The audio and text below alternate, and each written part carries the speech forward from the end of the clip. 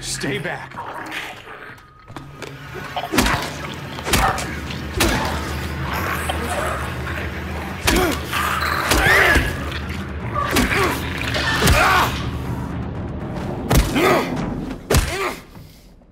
Is this what I saw in the fog? Whatever it is, it's not human.